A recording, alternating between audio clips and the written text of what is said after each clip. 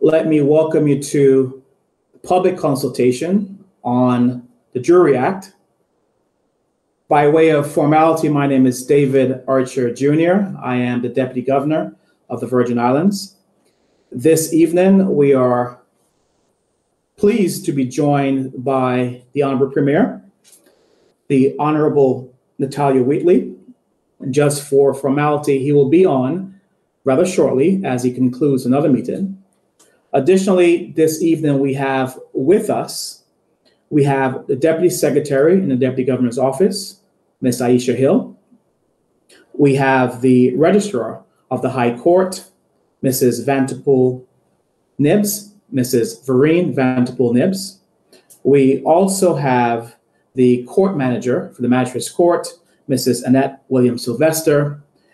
In addition, we have the Security and Justice Advisor in the Deputy Governor's Office, Mrs. Ulva Mackenzie Agard. And Mrs. Agard will be taking us through the presentation. I want to thank you very much for being here, for taking your time out this evening, and to discuss a very critical legislation within the territory. From its original date in 1914 to an amendment, its first amendment in 1995, to its second amendment in 2005, we're now 2022 having a discussion about how we improve this piece of legislation. Naturally, it impacts persons within the territory. It is the bedrock and the foundation of our legal system and ensuring that there is justice and fairness through persons who will serve as jurors. Again, with your permission, as the Premier comes online, I would like to pause and allow him to greet us formally. But in the meantime, I will ask Mrs. Agard to begin with the presentation.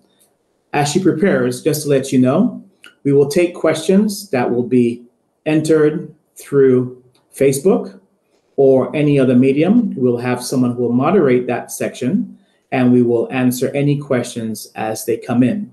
We are happy that you're online and ask you please to share the link as we speak about the Jury Bill 2022, its amendments, changes, and how it impacts you within the territory. Thank you very much. And I will just ask as you present also to please share your video. Good evening, everyone. Thank you, Deputy Governor. Um, could someone indicate to me whether or not you're seeing my screen, please?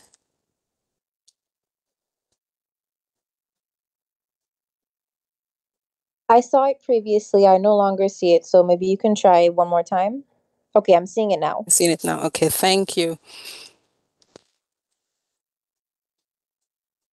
So as the Deputy Governor said, I'll be taking you through a short overview of the Jury Bill 2022.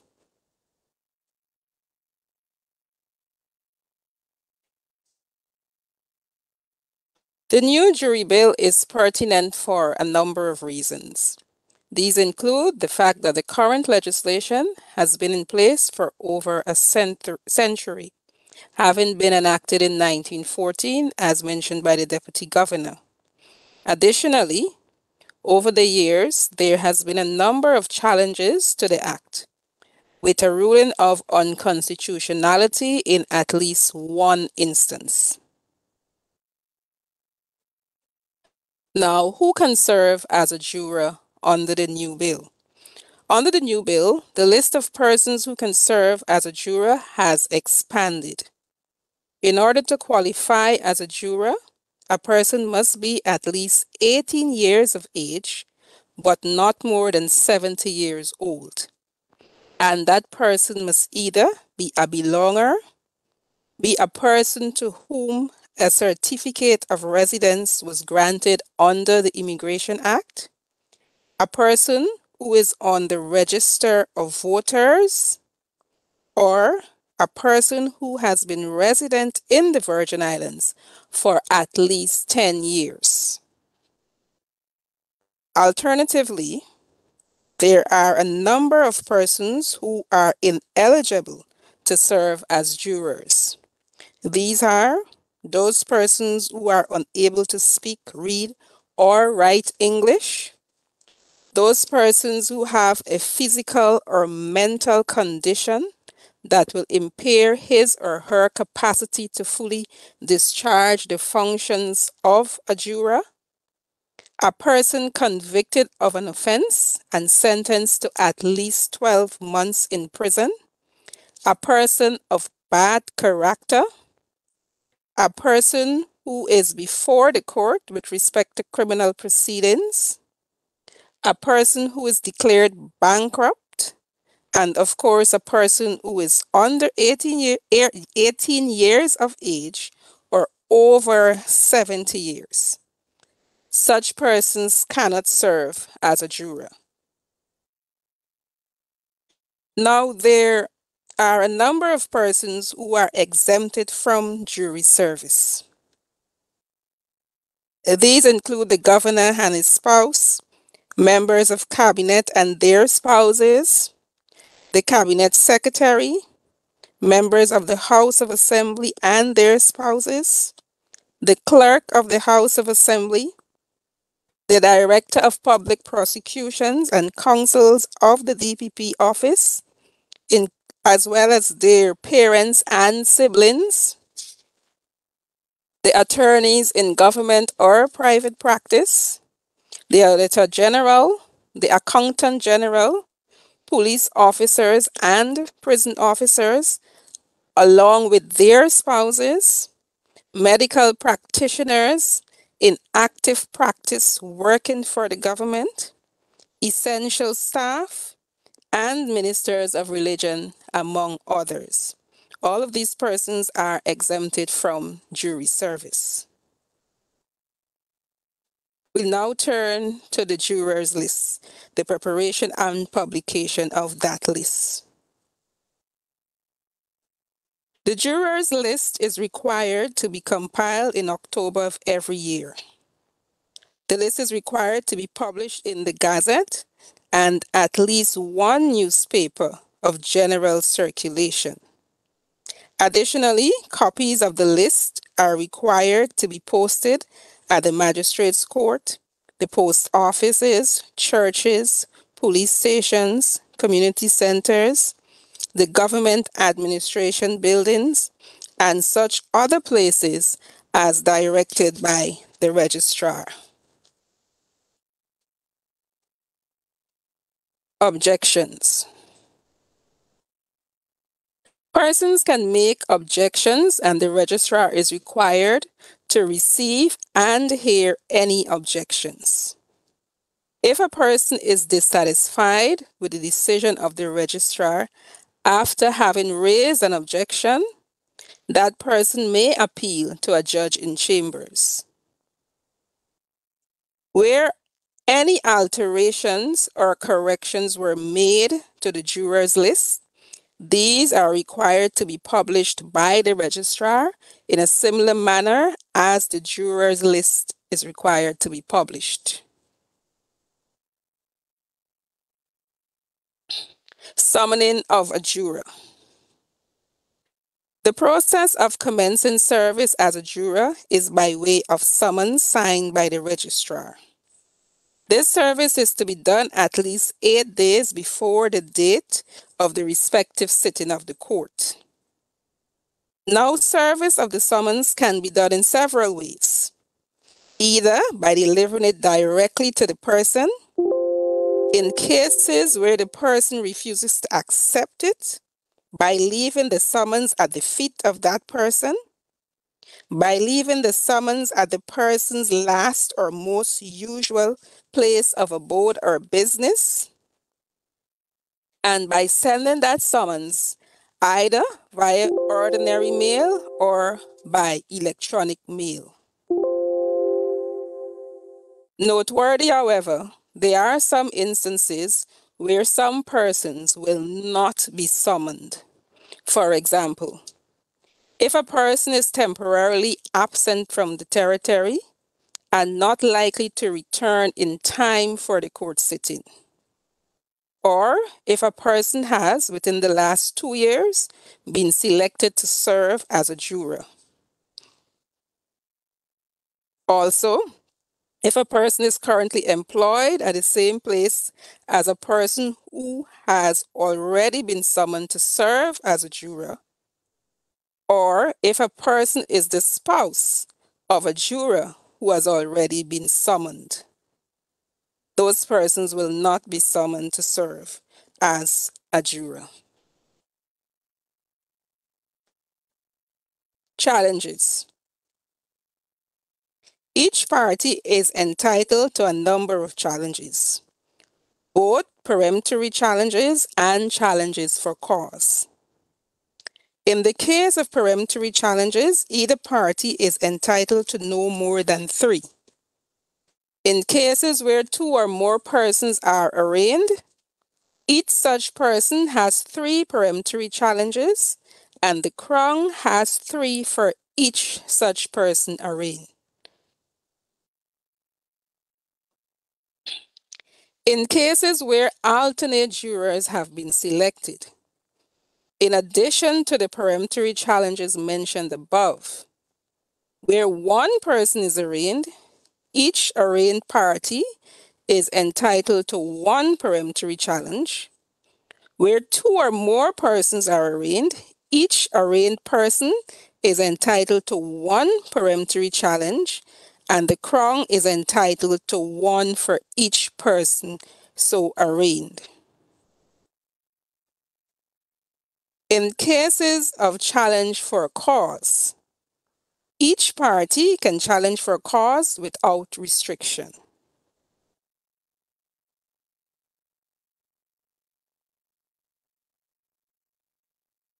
Offenses. In instances where a person summoned does not attend or does not answer to a call after having been called three times, or the person is present but does not appear after being called, or the person withdraws from the court without the leave of the judge or without reasonable cause, such a person can be fined up to $2,000.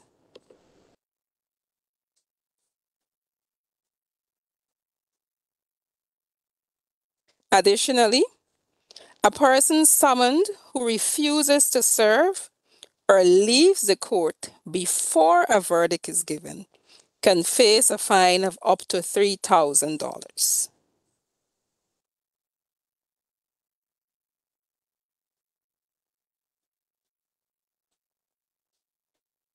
A person who makes an entry in the jury database, knowing it to be false, or causes or permits any false representation or makes or causes to be made on behalf of another person any such false representation or knowing he or she is not qualified to serve as a juror and so serves also commits an offense. A person who corruptly influences or attempts to influence a juror in the performance of that juror's function also commits an offense.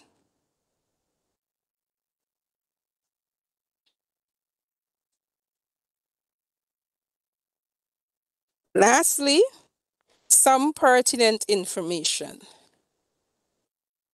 A jury empanel shall consist of nine persons. A court may direct that no more than six alternate jurors be selected. If during a trial one of the jurors serving is absent or dies or is incapable of serving, the juror will be replaced by an alternate juror.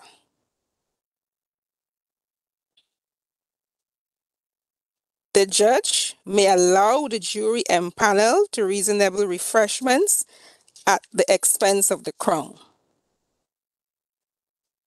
And lastly,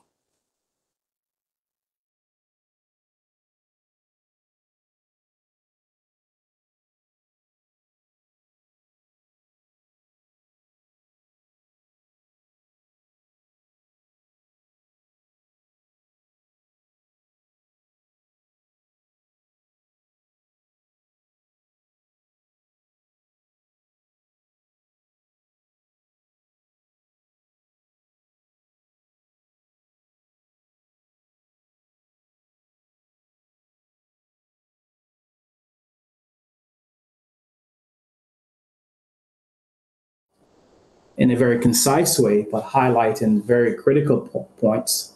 Obviously, something which is new, the, the age range from 18 to 70. Um, you've gone through also the penalties associated with not showing up or even persons not complying to the summons. Uh, very serious job to ensure law and order within the territory. Thank you very much for that. At this time, if we have questions online, I would just ask you to hold those questions, please, and allow me to welcome Dr. the Honorable Natalio Wheatley, the Premier of the Virgin Islands, and our Minister of Finance. Premier? Uh, thank you. Thank you, um, esteemed Deputy Governor. And I greet all other persons on the call and, of course, um, the viewing public. Um, I want to thank um, the Deputy Governor's um, office um, for convening this meeting. Of, of course, we know that the administration of the courts is one of the governor's special responsibilities, uh, which he delegates to the deputy governor. And I also want to show appreciation um, to members of the court system here, as well as Mrs. Kenzie Agard uh, for giving her presentation. I certainly apologize uh, for being tardy as I was um, closing off another meeting. And um, please forgive me for not having my jacket on because, of course, in coming to my office, um, it's it's raining quite heavily, and I and I got wet. Uh, but I'm happy to be here at this meeting, and and really just to to be a part of it because, of course, it's my responsibility to bring uh, this Jury Act to the House of Assembly. Uh, it's been given its first reading already, and uh, we wanted to have a dialogue with the public before it's given its second and third reading, which could come as early as as tomorrow, and to make sure that if if persons had any um, queries, if they had any questions, uh, we had the requisite persons in their fields, in their areas of expertise, who would be able to to answer the questions.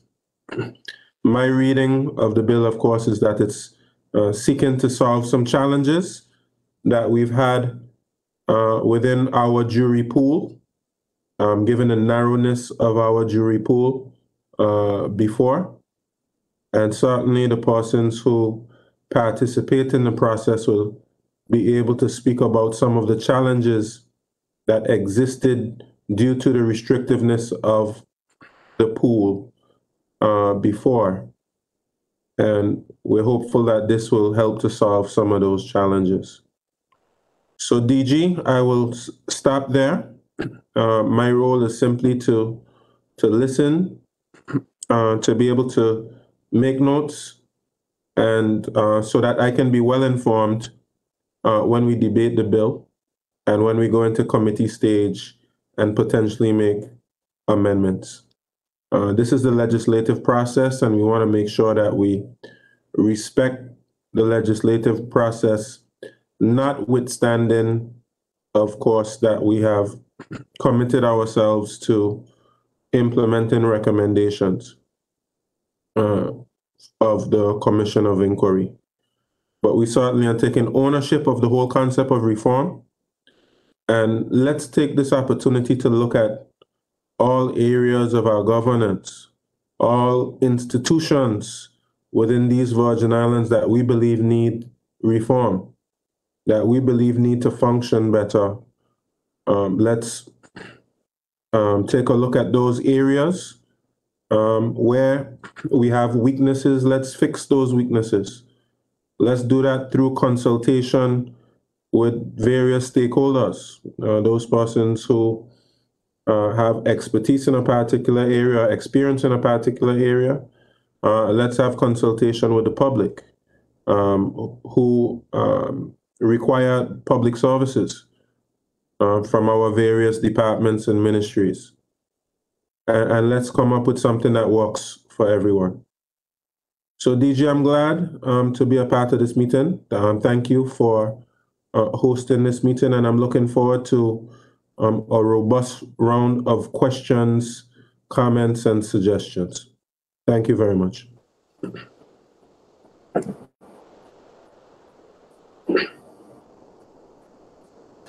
Thank you very much, Premier, and for being with us. Naturally, when you called and expressed to me the importance of the dialogue with the public, I was eager to facilitate your presence, but also as you demonstrate the importance of consultation before legislations are advanced through the House of Assembly.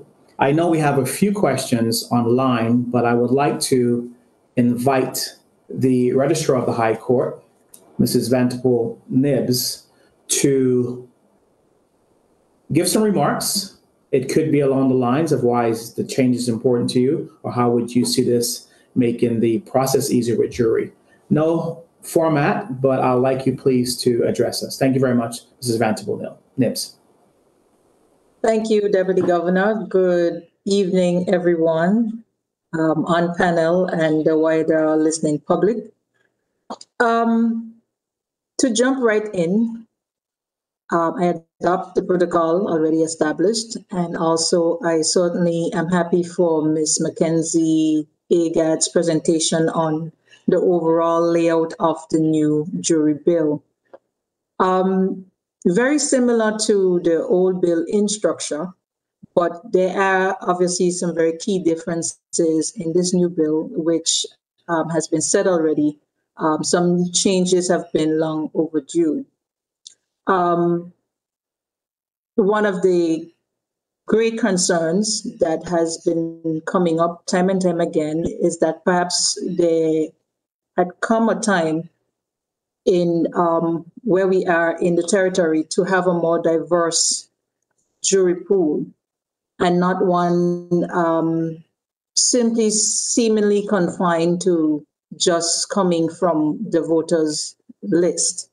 So this bill in particular focuses on creating a wider diverse pool. Um, Mrs. Agard has already identified that one very important difference is that you now have persons aged from 18 to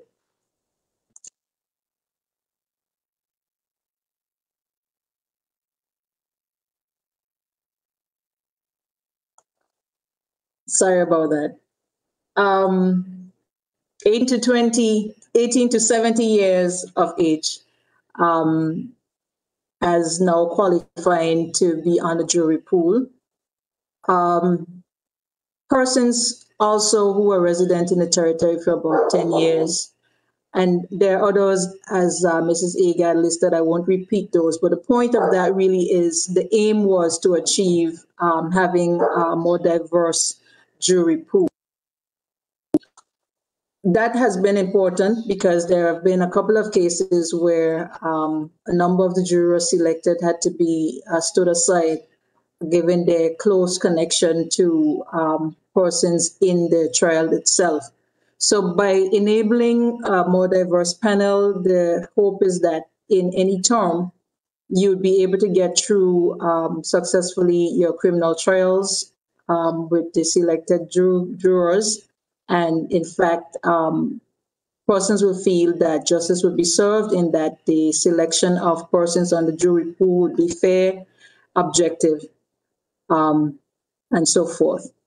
The other big change in the new jury bill would um, persons would notice that um, a lot of the selection and final confirmation of the jurors register the jury register has been shifted to the registrar and not the magistrate as the old bill um, was structured. So the registrar um, now has a lot more responsibility under this particular um, legislation.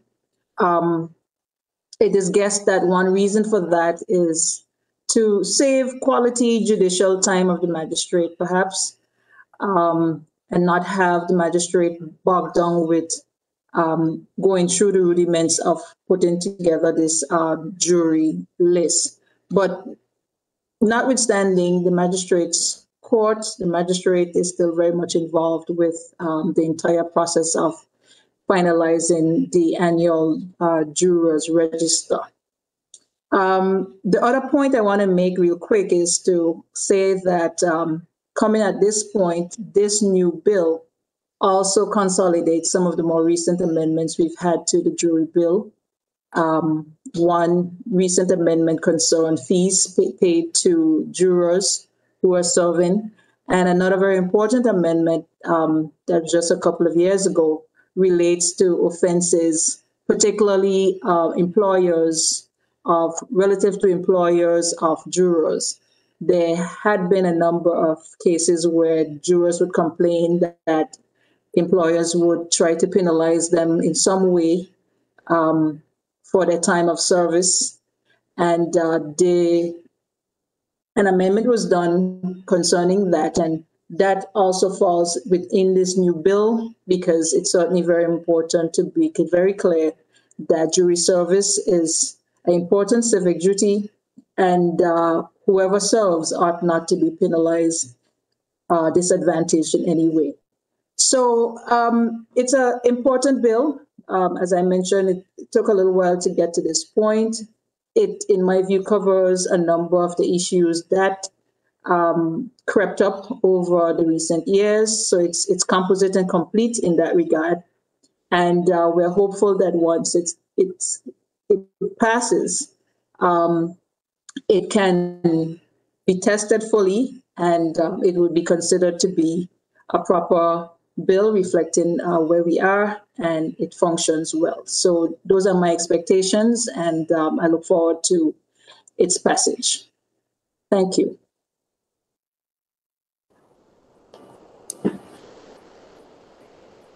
Deputy Governor? Thank you very much. You are you were kind and polite in noting the responsibility that rests with your shoulders.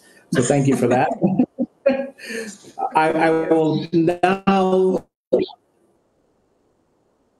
ask Deputy Secretary Aisha Hill if we have questions online, if we can take at least two questions. And we'll also hear from the court manager as we transition from the questions. Ms. Hill? have questions online.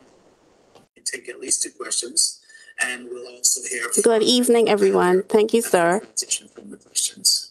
The first question is, why is there an age limit of 70 years? Good evening, everyone. Thank you, sir.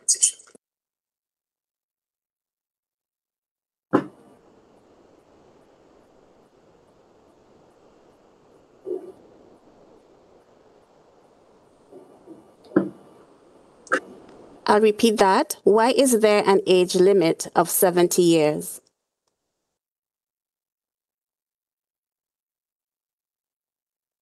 Should I jump in and answer that one? Go right ahead, please. Thank you.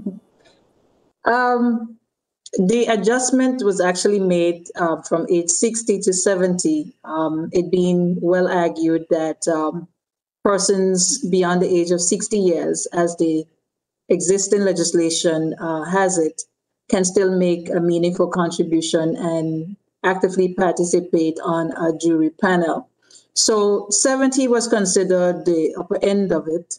Um, and I think it's fair to say that the persons who discussed this at length thought that 70 years um, would be a fair cutoff point, um, five years beyond, or what we call a statutory um, age of retirement.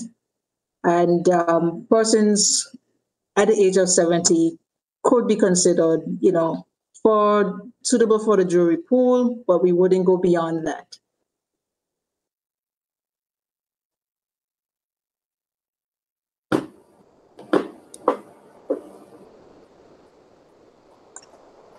Thank you very much, Ms. Hill. A Please follow-up, continue. a follow-up question, Madam Registrar. Um, someone said that you need to be in sound health to be a juror.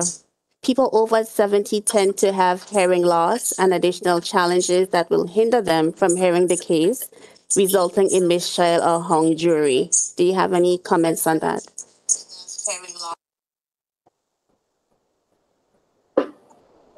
Just to say that um, persons who would be selected would not only be selected because of age, but also considering their present state.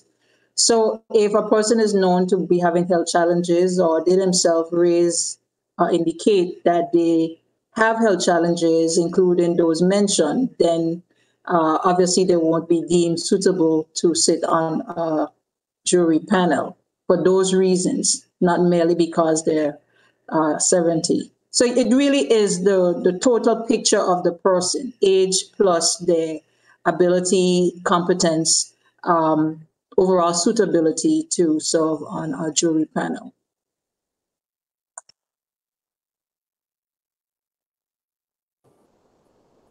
Thank you for that. And on a lighter note, these are persons at age 70 who have given tremendously to their community.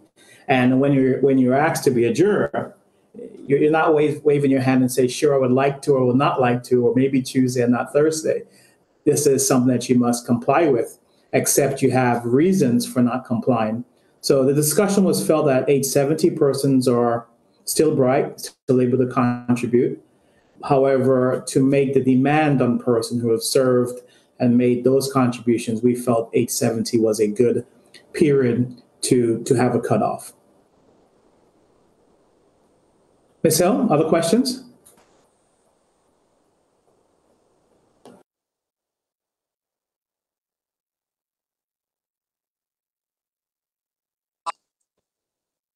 Yes, sir. When speaking about the disqualification of jurors, reference was made to persons of bad character who may be subject to disqualification. Section 6, subsection 2 of the bill vaguely explains the term, pointing to the act of misconduct, but there may be a need for more clarity as to what exactly deems someone of bad character or of misconduct. Into the act of misconduct, but there may be so the person is basically asking for clarification on what is meant by bad character.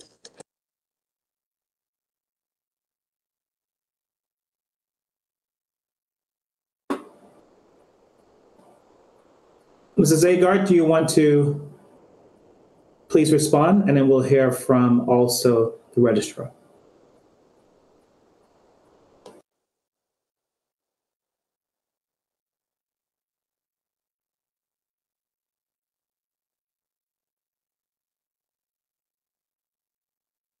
Yes, sorry, DG. Um, so the the jury bill defines bad character um, to mean a person who has evidence of misconduct or a person who has a disposition towards misconduct.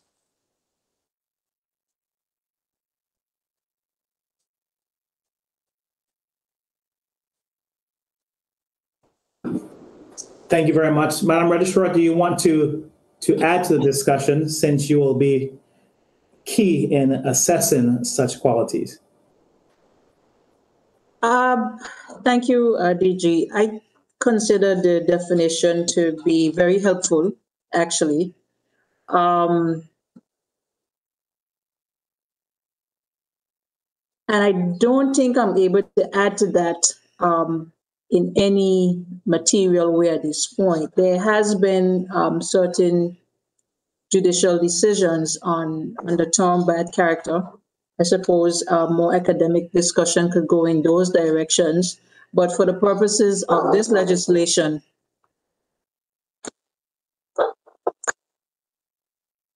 I consider that definition to be workable and understandable.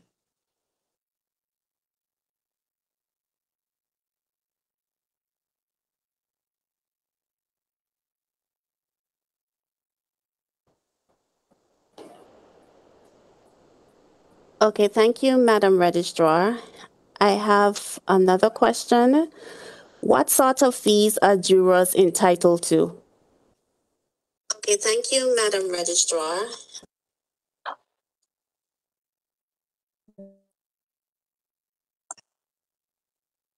is the question asking me the specific amounts, which I don't have in front of me, or just generally uh, when you'd likely um, be paid?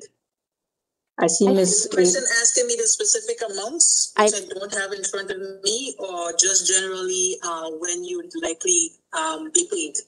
I think just general, Specific amounts, I don't have in front of me, or just. Right. Okay. So, um, Mrs. Agard, I see her hand raised, but what I would like to say on that is, once you're serving on a jury pool, in that you've been actually um, chosen to sit on a matter for the period of time that you're sitting on that matter, you will, um, in fact, be compensated.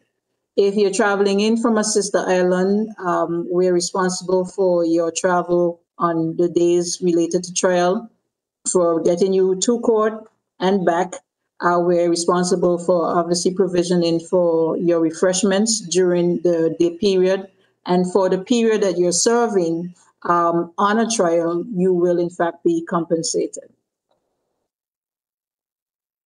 In some cases, I might add it would perhaps not compare to uh, the full salary that you may uh, be getting, but it is in recognition that um, you are you, we are using your time and you are giving service, and it is the state's way of saying uh, thank you, and some compensation is actually um, paid.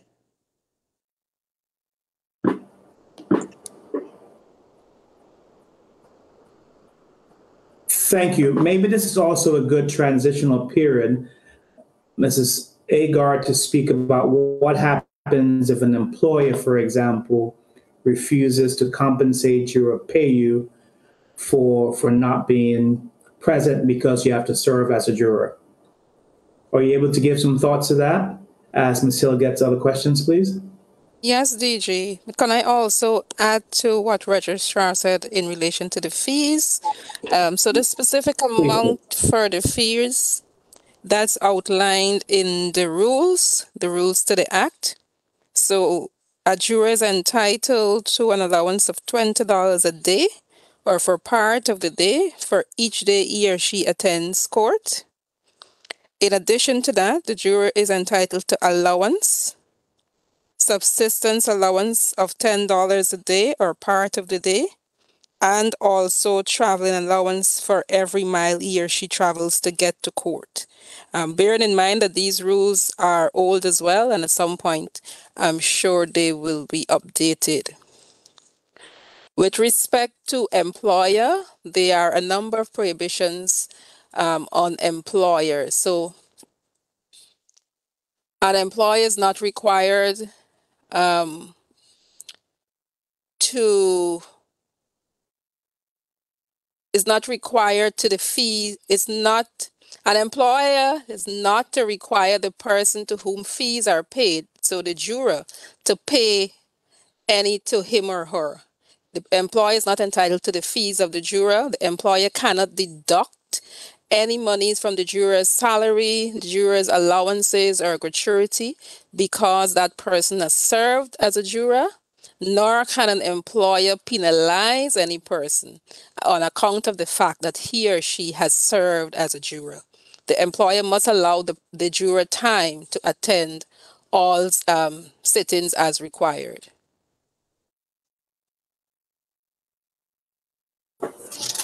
Thank you very much. Ms. Hill, please continue with questions.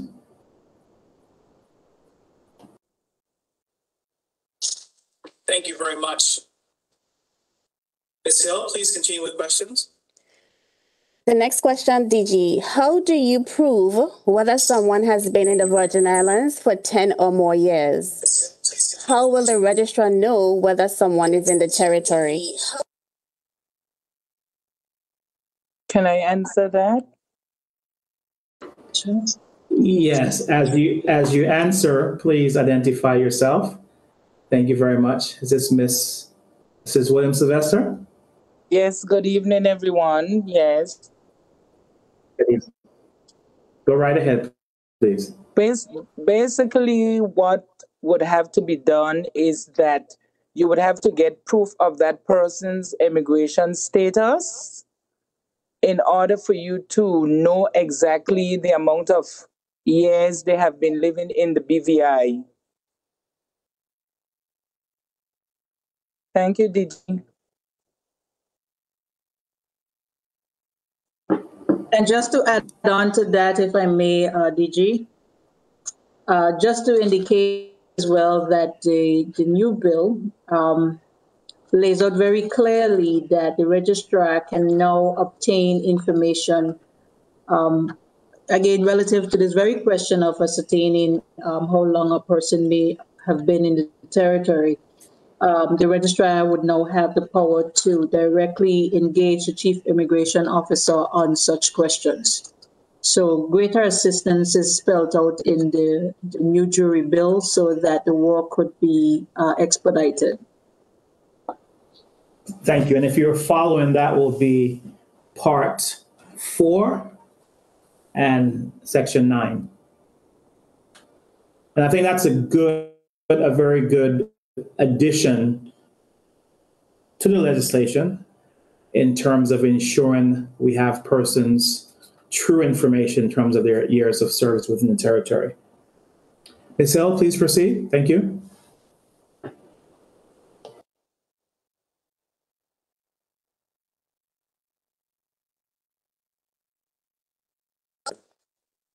Yes, so um, the other question is why should employers who pay more tax and social security and national health insurance than employees have to then subsidize, subsidize the government by paying employees for the time on a jury? That seems fundamentally wrong. Have to then subsidize, subsidize the government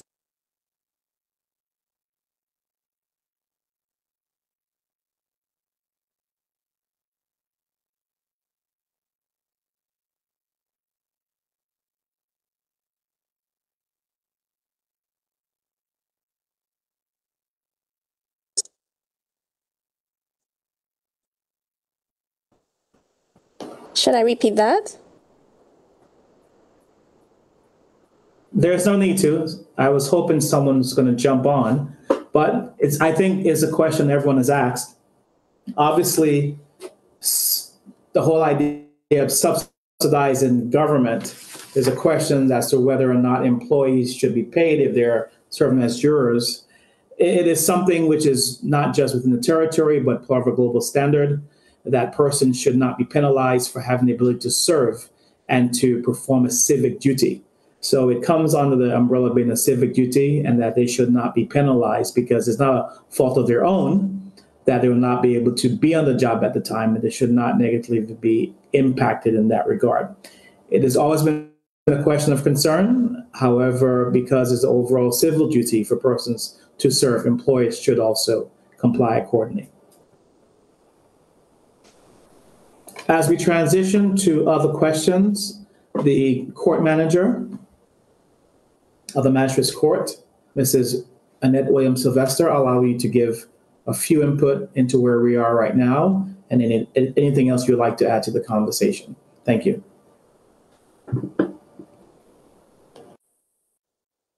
Good evening again, everyone.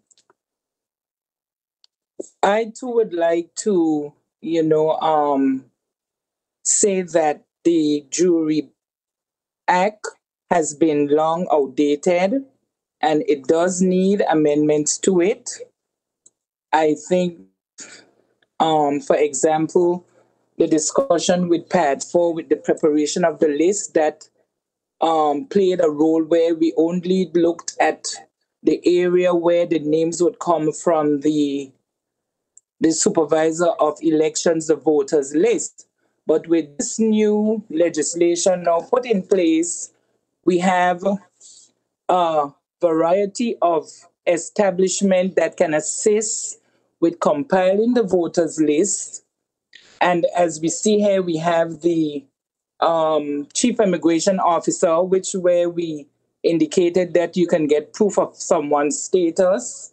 We have the registrar general, we have labor commissioner and the director of social security. And I think that this is important on a, a level playing field in, in selecting the jurors to do the civic duty of administering justice in our jurisdiction.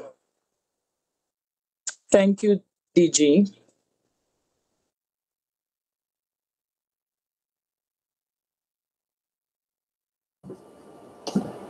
Thank you very much, Mrs. Williams-Sylvester.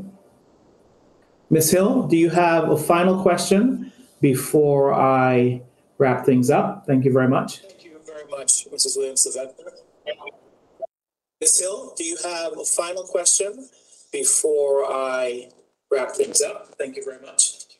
Yes, DG, I have one more question and one comment. The bill states that if a person fails to provide information, they can be subject to a fine of $3,000 or up to two years imprisonment. Can we have clarity of the type of information this relates to, as the bill gives the power to have direct contact to labor, immigration, and police?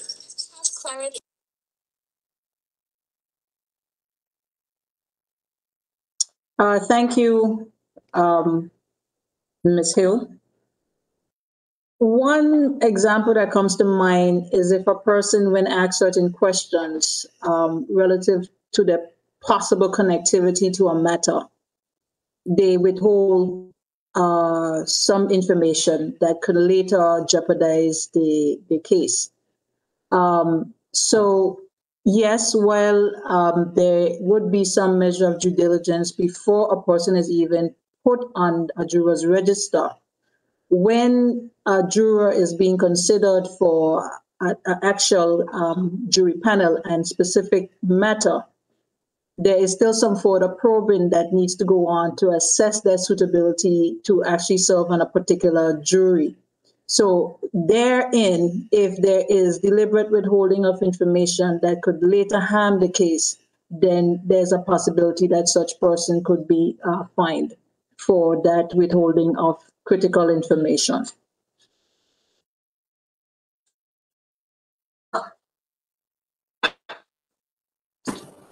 Should I say more? Uh, Just ask you to expound. Let's say, for example, why is it why is it rather critical for persons simply not to lie about, let's say, their association with someone who might be on trial? So to to be technical about it, um, what could well happen is you end up having what could be called a hung jury um, and mistrial, because depending on what may be later discovered that the juror may have withheld, um, it could well be argued that the furtherance of the matter could be prejudicial in some way. And if that is the situation, a mistrial could be um, declared. And that causes great expense um, to all involved, uh, including the crown and the parties themselves. So it is very expensive to, uh, it could be very expensive to withhold information that could get you going in the, up to the middle of a case and then have to restart that entire case all over again. Um, not a very good position to be in, but uh, that's one very apt example of not being forthcoming at the right time, um, putting the entire case at risk, and being perhaps vulnerable to be fined as a result.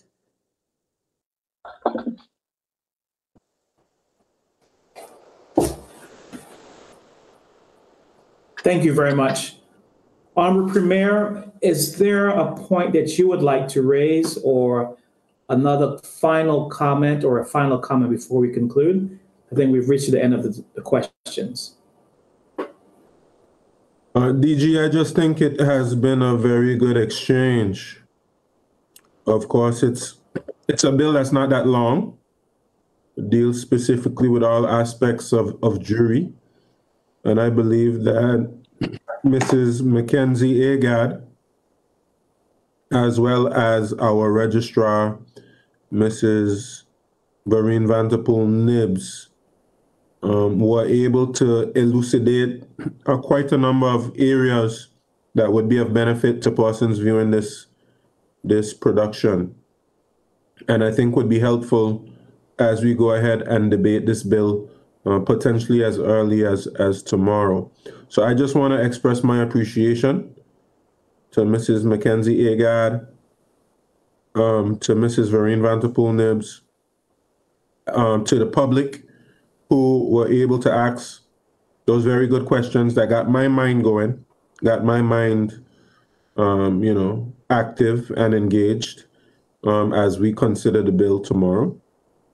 Um, and um, thank you, um, DG, um, for facilitating the session. I think it was helpful, it was useful, um, and I know persons in the public would appreciate it. I appreciate it certainly, as um, as um, as the one who has to bring the bill. Um, it's helpful to me to see some of the questions that the public public um, possibly may have. And I find that useful. So thank you so much. And um, I, I, I'm pretty sure we'll we'll have some further sessions similar to this, as of course we have a very ambitious legislative agenda. Um, we have uh, more legislation um, that I will bring forward on behalf of um, the governor via the deputy governor.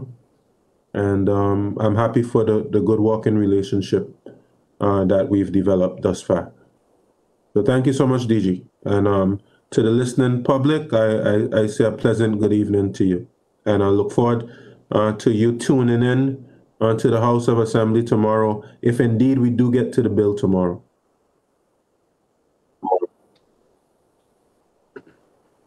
Thank you very much, Premier. Thank you for your your foresight to recognize the importance of public consultation on these critical legislation. To Mrs. Mackenzie Agard, thank you very much for the presentation, entertaining questions. Our Registrar of the High Court, Mrs. Vanterpool Nibbs, thank you also for elaborating on points where necessary and for ensuring that we answered the questions correctly. Mrs. Annette Williams Sylvester, thank you also for providing insight and your experience working with the bill, and especially the areas which would be more beneficial to us as we progress, such as being able to have better identity of persons' years of service, sorry, years of residency or years of time within the territory. Thank you also to Ms. Hill for the questions, for answer, for presenting the questions to us and for facilitating. Behind the scenes, we have our GIS team. We are always mindful and we recognize the importance that you bring to the table to make sure the public is well informed. Thank you very much um, for your leadership, Ms. Smith. And to the listening public, thank you for being a part of this process, for appreciating democracy and the need to ensure that we exercise democracy, especially in critical pieces of legislation. I want to thank you very much for being online, and I wish you a great evening, the balance of your evening and asks also that you continue to pay attention, as the Premier mentioned, to other pieces of legislation which will come on board but require your overall input. Thank you very much and have a wonderful evening. Thank you. Thank you.